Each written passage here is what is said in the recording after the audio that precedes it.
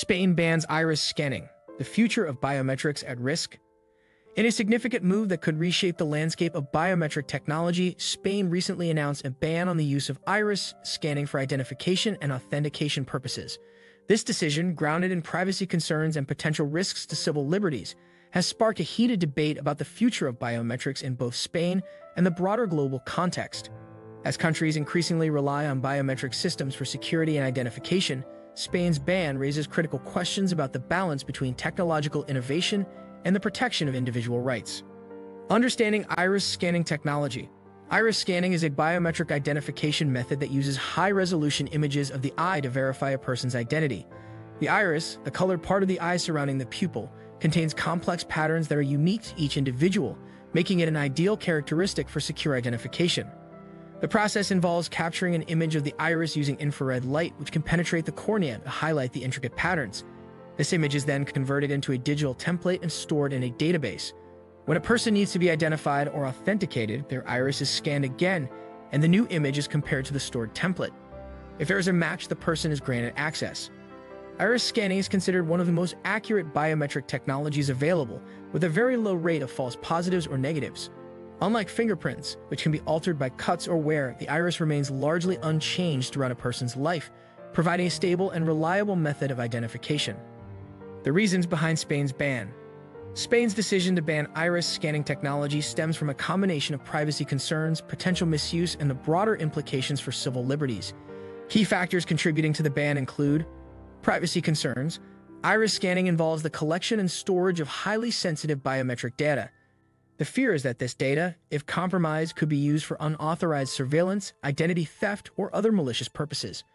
Unlike passwords or ID cards, biometric data is intrinsic to an individual and cannot be changed if compromised, making it a particularly sensitive form of personal information. Potential for abuse, the Spanish government expressed concerns that iris scanning technology could be misused by both public and private entities. For instance, there's the potential for mass surveillance, where individuals' movements and activities could be tracked without their consent. This raises significant ethical questions about the extent to which governments and corporations should be allowed to collect and use biometric data. Impact on civil liberties. The widespread adoption of iris scanning could lead to a society where individuals are constantly monitored and tracked, eroding personal freedoms and privacy.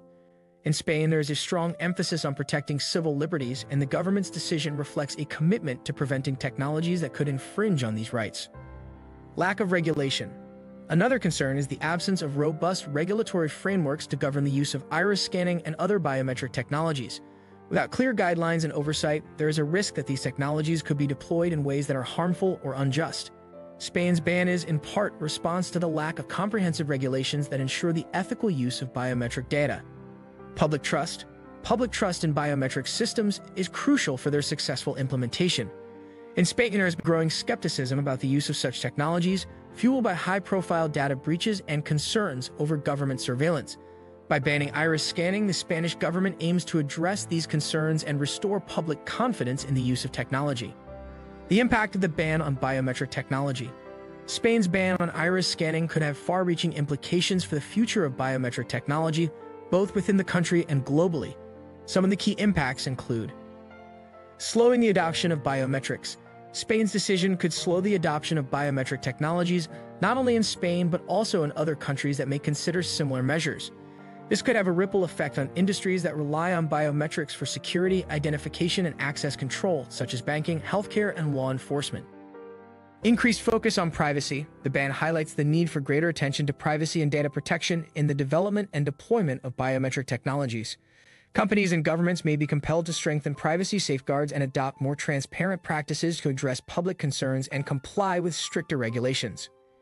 Innovation in biometric technology. While the ban could pose challenges for the biometric industry, it could also drive innovation. Companies may need to develop new technologies or improve existing ones to address privacy concerns and regulatory requirements. This could lead to the emergence of more secure and privacy-friendly biometric solutions. The future of biometrics after Spain's ban. Spain's ban on iris scanning raises important questions about the future of biometrics. While the technology offers many benefits, including increased security and convenience, it also poses significant risks to privacy and civil liberties. The challenge lies in finding a balance between leveraging the advantages of biometric technology and protecting individuals' rights. striking a balance between security and privacy. One of the key challenges moving forward will be finding a balance between the security benefits of biometrics and the need to protect privacy. Governments and companies will need to work together to develop technologies and practices that offer robust security while minimizing the risk of privacy violations. Enhancing regulatory frameworks. Spain's ban underscores the need for stronger regulatory frameworks to govern the use of biometric technologies. Clear guidelines and standards are essential to ensure that these technologies are used ethically and responsibly. This includes establishing rules for data collection, storage, and usage, as well as providing mechanisms for oversight and accountability. Public engagement and transparency.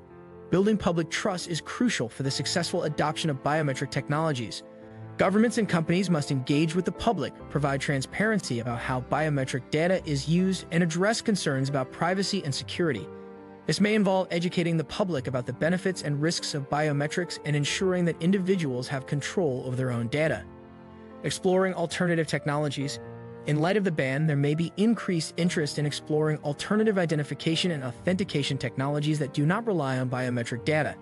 This could include advancements in cryptographic methods, behavioral biometrics, or multi-factor authentication systems that combine several different methods for greater security. International collaboration. As the debate over biometrics continues, there is a need for international collaboration to develop global standards and best practices. Countries can learn from each other's experiences and work together to address the challenges posed by biometric technologies. This collaboration could lead to the development of a unified approach that balances the benefits of biometrics with the protection of individual rights. Spain's decision to ban iris scanning marks a pivotal moment in the ongoing debate over biometric technology. While the ban reflects legitimate concerns about privacy, security, and civil liberties, it also highlights the need for a careful and considered approach to the adoption of new technologies. The future of biometrics will likely depend on how well governments, companies, and society as a whole can navigate these complex issues. As we move forward, it will be essential to strike a balance that allows us to harness the benefits of biometric technology while safeguarding the rights and freedoms of individuals.